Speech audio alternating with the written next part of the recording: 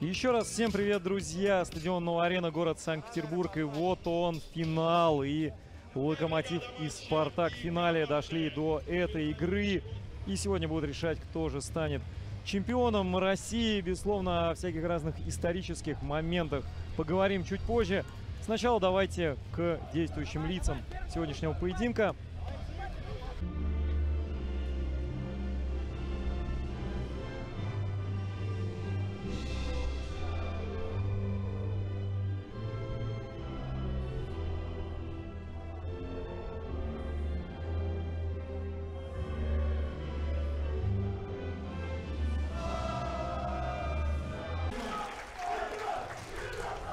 Ну что, друзья, вы правильно отмечаете, что сегодня еще и команды встретятся в рамках чемпионата России по футболу большому. Спартак и Локомотив сыграют в 19.00, так что интересное такое противостояние получается у двух брендов. Локомотив Александра Елизарова, Мамадиев, Никаноров, Волошин и Пелецкий. Это четверка. Ну, у Спартака абсолютно бронебойная стартовая четверка. Здесь Макаров и Шкарин, сторожилы сборной России. Помимо этого Федор Зимсков, тоже один из его главных, ее главных наконечников. И Андрей Новиков, который также является сборником. Началась встреча Волошин и Пархоменко. Тут же отражает очень непростой удар. Это так, видимо, легко получилось. На самом деле очень неудобно шел мяч. Мамадиев. Подачи. Ох, как! Перекладина, и Никаноров не попадает. Ну что ж, вот такой момент, сотканный из даже нескольких, можно сказать, ошибок. Тут же Макаров бьет издали. Да, Пархоменко не дотянулся. Попал в перекладину. По-моему, Волошин. Вот финальный поединок э, как раз располагается. Ой, какой момент! Перекладина! Павленко! Павленко хорошо. Даже не подставил голову, а так зрячий выполнял. Макаров тут оказался в нужном месте. Пархоменко по бровке на Новикова. Пробивает Новиков и забивает! Забивает из-под Самохвалова. И не знаю, какие претензии там Самох предъявляет. Видимо, как будто отмахивался от него Новиков. Но Новиков и вчера такой же гол, похоже, забил, продавив Басова. Ну вот так вот Андрей Новиков на радость вот этим ребятам, которые были сейчас на экране. Пробивает Кошарного. 1-0.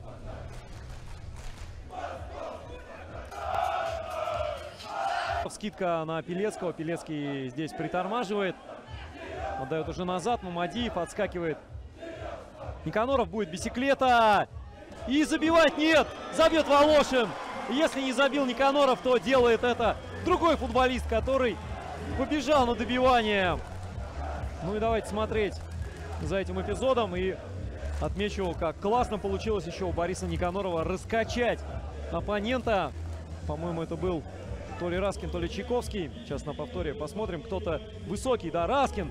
Видите, он уже прыгнул и уже ушел в другую фазу. Ну а Волошин единственный, кто побежал. Да, вдвоем уже крыли тут Бориса. Скидка на Пелецкого. Пелецкий здесь притормаживает. Отдает уже назад. Мамадиев отскакивает. Никаноров будет бисеклета. И забивать нет. Забьет Волошин. Если не забил Никаноров, то делает это другой футболист, который побежал на добивание. Ну и давайте смотреть за этим эпизодом. И отмечу, как классно получилось еще у Бориса Никанорова раскачать оппонента. По-моему, это был то ли Раскин, то ли Чайковский. Сейчас на повторе посмотрим. Кто-то высокий, да, Раскин. Видите, он уже прыгнул и уже ушел в другую фазу. Ну а Волошин единственный, кто побежал. Да, вдвоем уже крыли тут Бориса. Вот и сейчас, может быть, попробует. Правая нога, вот она снова. И слева, и Николай Крышанов. Вот это выдумка от Остапа Федорова. Касание было кого-то из защитников. Перерыв у нас. Отличный, интереснейший финал. Команды обменялись голами. Ну и сейчас время Soul Sisters.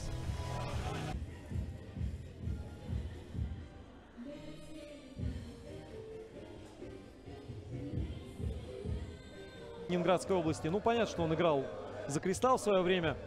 Но, тем не менее, он все-таки областной игрок. А какой сейв! Какой сейф совершает тут Макаревич. Подстроился под удар Земского.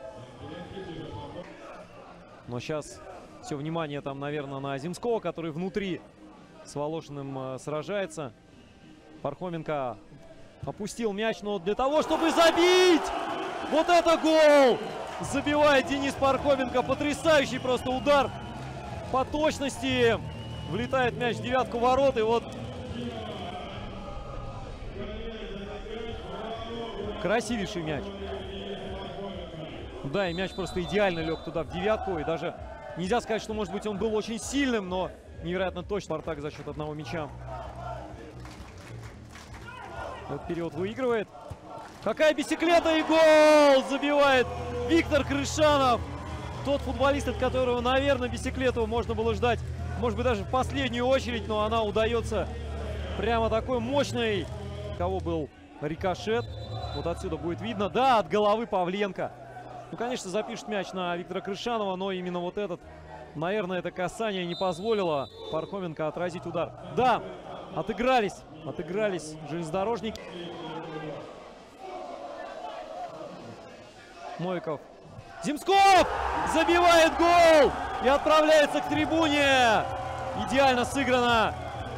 И мяч в верхнем углу ворот.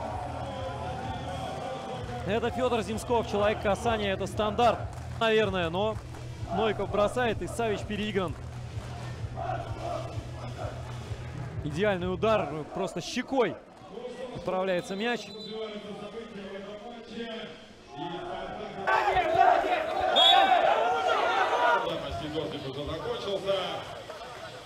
Опасно Макаревич все видел. На Мамадиева. Нуридин, кстати, не сказал еще сегодня своего слова. Вчера он сказал его в овертайме. Пытается обыграть и, и обыгрывает, да, обыгрывает Гапона. И это очень важный эпизод.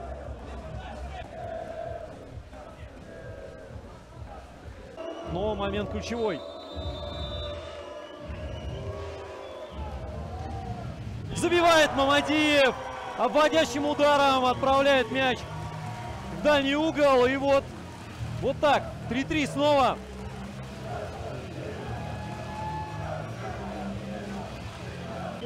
Спартаковцы устроили там целое совещание. Мы же смотрим за отличным ударом. И Денис Пархоменко здесь был бессилен. Вот отсюда особенно будет виден. Видно это хорошо. Обвел Дениса.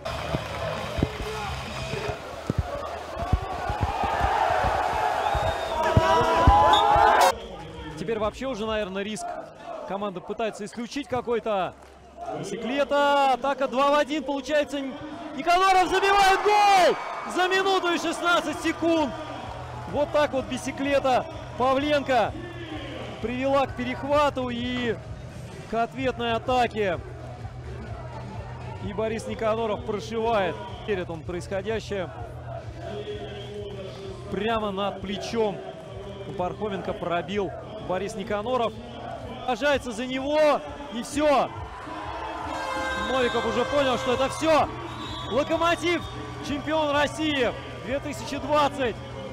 Поздравляем команду Александра Елизарова. Поздравляем футболистов, тренерский штаб, руководство. Локомотив выиграл регулярный чемпионат. Прошел в полуфинале Кристалл, выиграв в овертайме и одержал в итоге победу и в финале. И становится команда пятикратным чемпионом России, догоняет Кристалл по количеству чемпионств. Чемпионы! Чемпионы! Оле!